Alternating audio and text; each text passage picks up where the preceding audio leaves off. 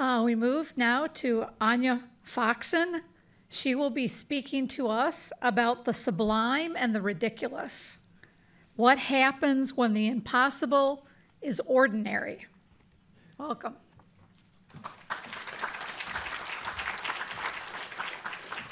Thank you. Okay, let's see. Get all my technology set up. So, uh, the title of my talk today comes from this wonderfully pithy quote by a 19th century physical culturalist and occultist named Genevieve Stebbins. And so, this is where my subject matter maybe departs a little bit from some of the other stuff that you'll see at this conference. Because despite being embedded very, very deeply in Victorian occult circles, Stebbins isn't talking about supernatural visitations or precognitive visions. She's basically talking about a series of physical exercises where the practitioner kind of shifts her weight from foot to foot. So Last night at the reception, a number of dear colleagues almost convinced me that we should like all get up and do this. I think it's going to be logistically too complicated, so I'm going to show you what I think Stebbins was talking about. It's a little bit difficult with like 19th century manuals, but if by the end of this you find yourself really compelled by, you know, Victorian feminine fitness, come talk to me, I'll walk you through it. We can like go sway out in the courtyard together. So, I think this is what Stebbins was doing.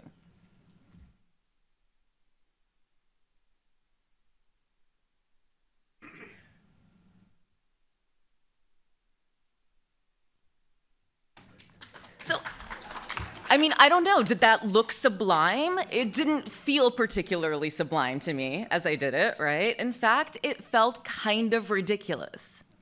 But that's not my practice. And so this is where I should also maybe lay my cards on the table and say that I do identify as a scholar practitioner. Uh, and so, in light of that, let me actually start off by getting just a little bit personal. Um, Jeff has this really great story uh, with which he opens his new book, The Superhumanities, um, and which I think he actually told at last year's version of this conference.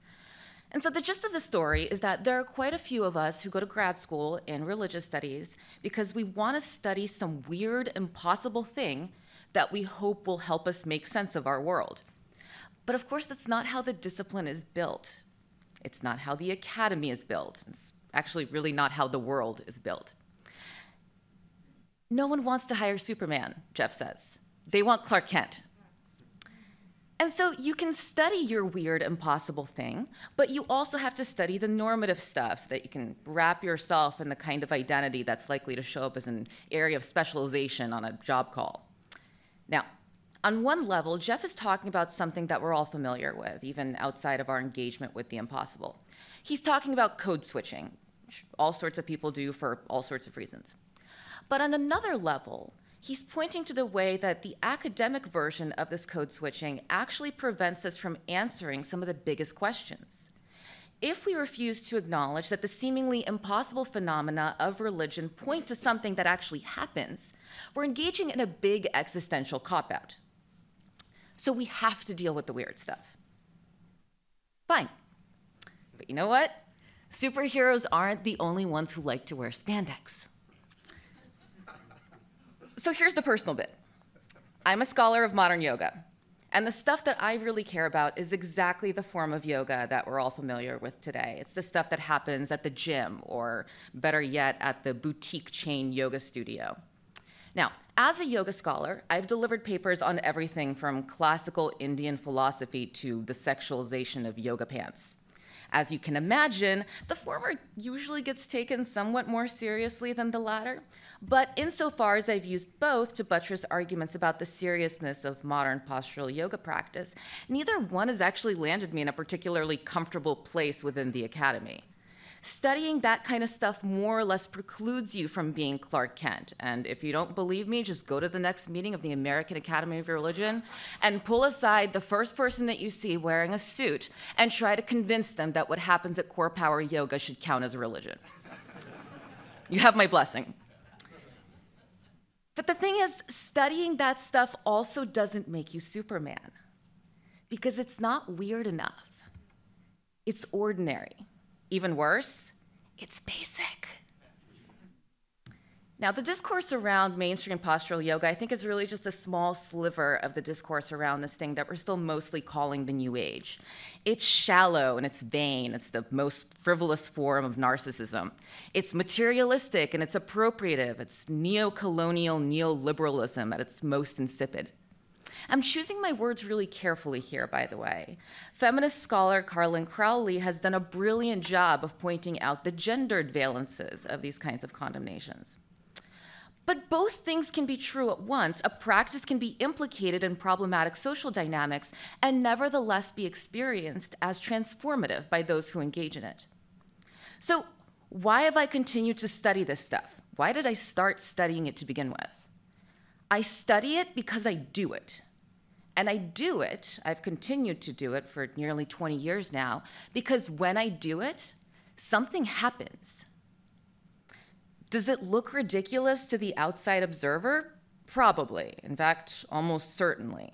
Picture a group of people doing squats while new agey reggae blasts in the background and some guy with a man bun yells at them about being in the moment. And yes, everyone is there for exercise. But here's the thing most people in that loud, sweaty room are in a radically altered state of consciousness. If they weren't, they would leave. So here's maybe a more academic way of putting it consistent practice of proprioceptive movement alters the way that we connect with and experience our reality. But think about the full ontological implications of that if we really followed it all the way through. Let me give you a few examples. First, consider this statement by a longtime teacher and practitioner of non lineage affiliated, thoroughly physical yoga. For the record, not me. My yoga practice is sacred to me, she says. When I step onto the rectangle of space that is my yoga mat, I remove myself from the barriers of the mundane. Somehow, the focus of breath, gaze, and body all working together to stay present in a yoga pose allows for the liminality of a momentary connection to all things. These glimpses of my small self not being separate can be described by the concept of yoga pratyaksha, or the ability to experience this sense of superordinary consciousness. For me, yoga pratyaksha is always fleeting, and at the same time brings me to my mat again and again in the hopes of communing with this oneness. Movement can also connect us to each other, and maybe more uniquely to each other's subjective embodied experience, even across the boundaries imposed by cultural conditioning. Consider Ruth St. Denis, one of the mothers of modern dance, having a revelatory moment as she's watching an Indian physical culturalist perform the kind of thing that these days we're mostly calling vinyasa.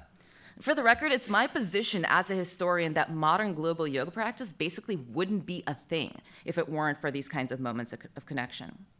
So here's St. Denis. After a little pleasant talk, he, this uh, practitioner, put out a rug and began to speak and presently to move. It seemed to me for the first time, uh, for the first time since the days of Mrs. Stebbins, I found someone who moved as I believe I move. I can express it in this way because it's so obvious that neither Mr. Mehta nor I created that quality of movement with which, which I'm speaking of, any more than he created his brown eyes or I my blue. He began by saying that the breath and all the bodily rhythms and movements growing out of the breath, if consciously employed, would bring us into that intimate awareness of cosmic rhythms better than any other human experience. Here was a prophet after my own heart, as he went through a series of exercises poised, as it were, upon the breath and making his body an instrument for the unending currents of life to flow through. I kept saying to myself, Yes, yes, this is what I feel. Before my eyes, his movements seemed to gradually relate themselves to the natural forces of movement. As one watched him, one felt the rhythms of natural things, of wind and air and sea. And if it seems to you that there's something spiritual going on here just because we're talking about yoga or something, consider this statement by a practitioner of hooping, as in hula hooping. One day, there was a moment when the hoop fell away. I was waist hooping to a favorite song, and all I knew was that I had fallen into the music. I was dancing. Yes, the hoop was still there, but its size and shape had disappeared. We were no longer separate. We were one, moving together in perfect unison. It was magic, and I later learned that this is where flow exists.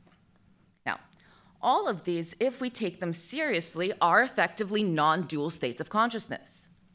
You can become one with the cosmos, even if just for a moment, by hula hooping. I mean, how's that for impossible? And I actually don't think it matters what kind of movement we're dealing with. It's not what the body looks like on the outside. It's not even so much about the shapes that it's making.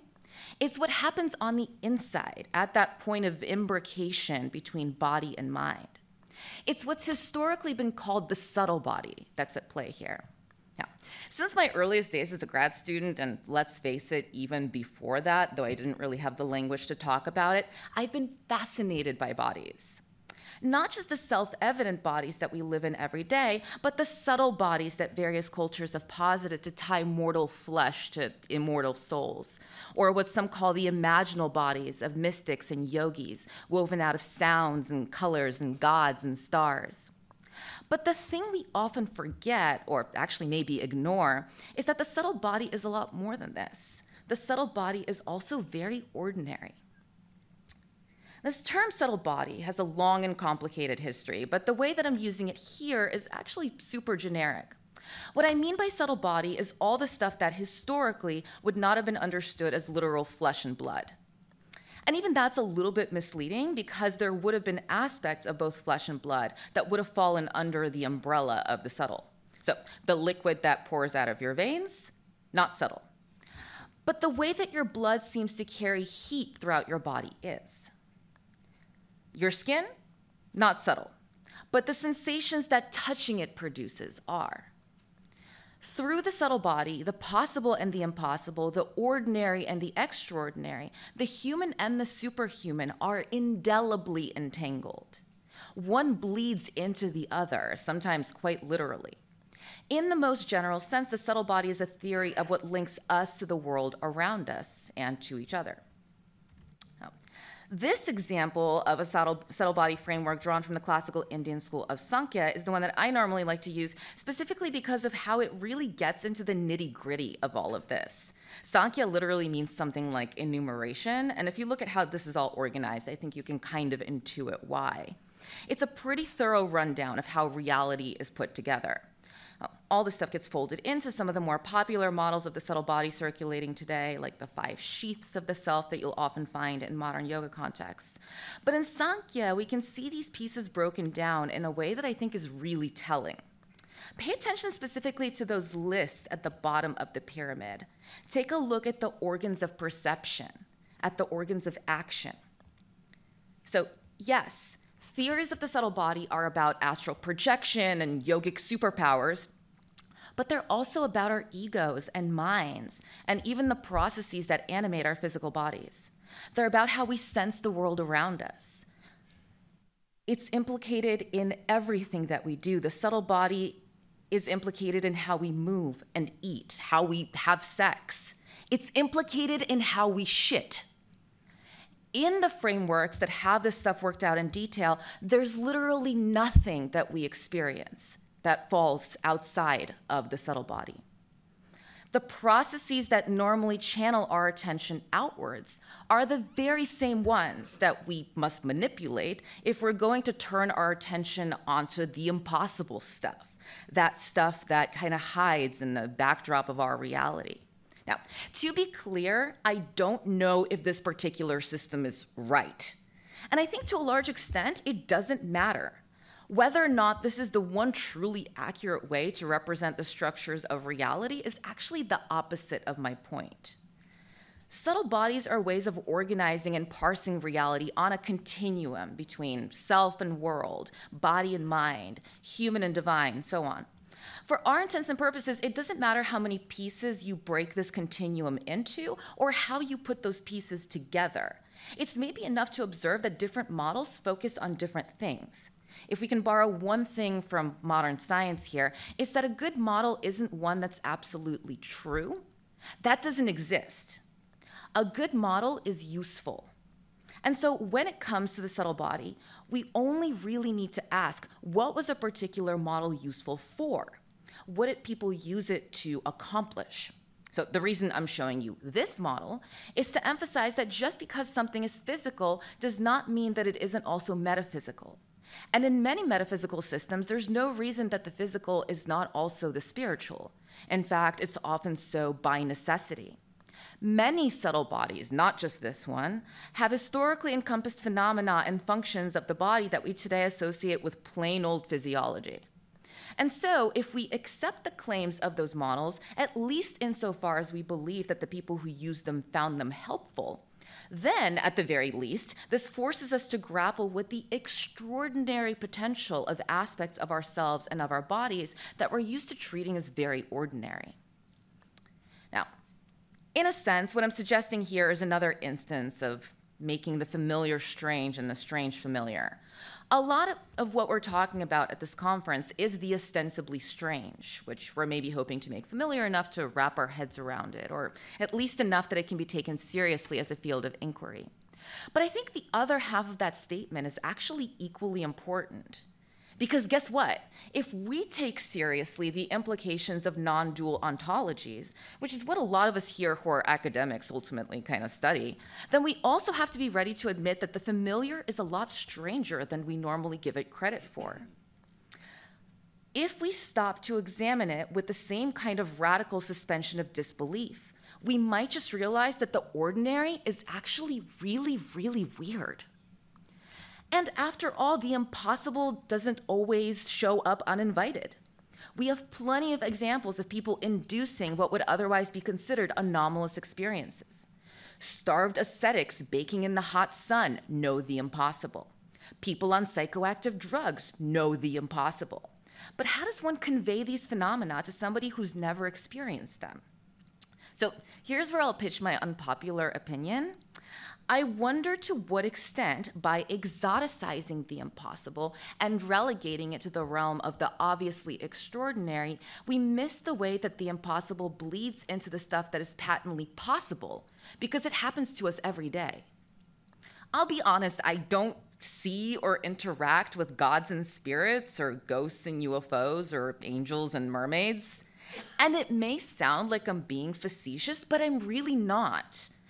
I believe that there are people out there, perhaps some in this very room, who do experience these things or other things that seem similarly impossible. I mean, I don't know. Maybe I need to do more drugs or get better at asceticism or something.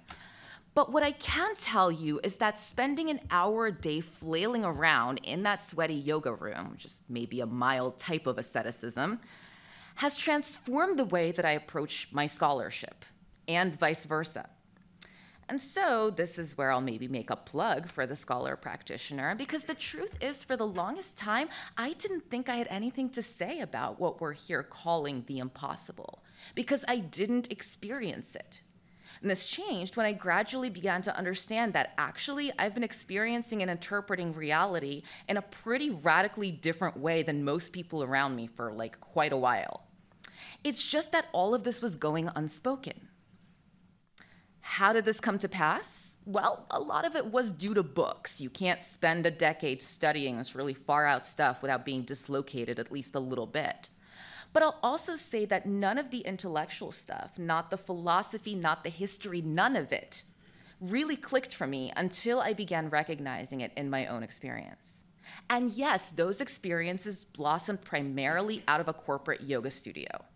But without those experiences, the sublime would have continued to seem on some level ridiculous. So, what if we thought about all the ways that we engage with our reality in everyday and eminently possible ways, and how these practices and experiences are rife with impossible dimensions that go unacknowledged? What if we were, were to readjust our lens, turn it so that the light refracts just a little bit differently?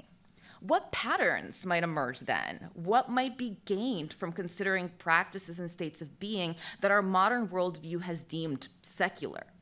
The way we exercise, the way we make and experience art, the way we have sex. I don't think we need to limit ourselves to these three, but they seem like obvious places to start. After all, the ascetic, the aesthetic, and the erotic have historically been prime loci of mystical experience. More than this, they've served as theoretical frameworks for such experiences. And why is this? Well, we might say that all of these are experiences that have the potential to be ecstatic. They take us outside of ourselves. But that's not really true, is it? If only because they're all experiences that happen with and to and through our bodies. I'll suggest that a more useful way to think about it is that these are all experiences that intensely involve what has historically been called our subtle body. And of course, all these are things that can seem kind of ridiculous to the outside observer. Now, arguably, the discipline of religious studies already takes these domains into account. But what if we were to consider such things without flattening them down to historical or sociological or psychological explanations?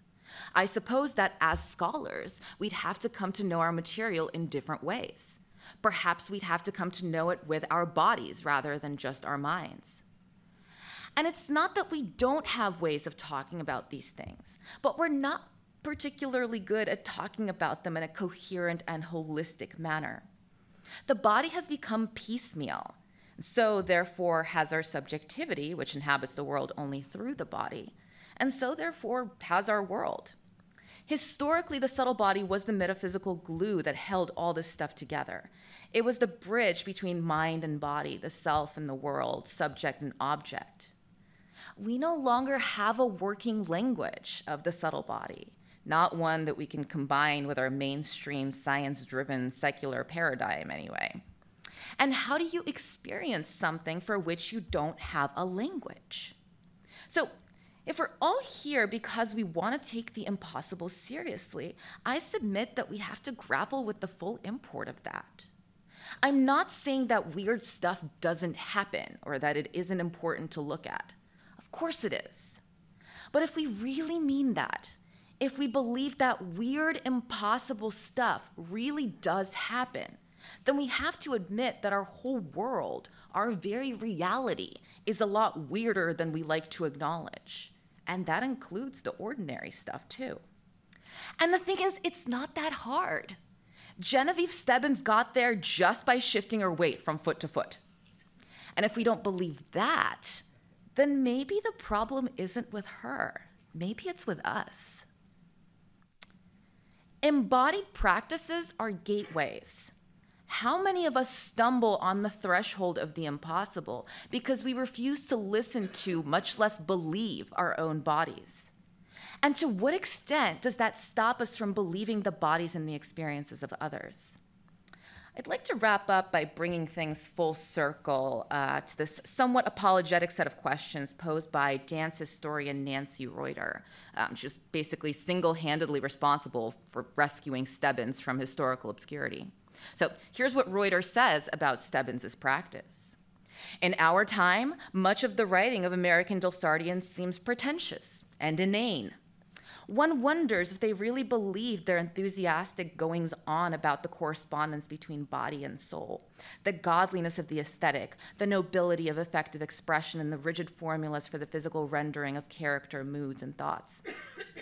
One might ask if the physical activities and their intellectual underpinnings constituted an effective discipline for body and mind, and the integration of the two. Did the Delsartean work touch anyone deeply? Did it give any of its adherents joy, or enlightenment or a sense of power? I think that it did, even if it seems ordinary to us. And yes, even if it seems kind of ridiculous.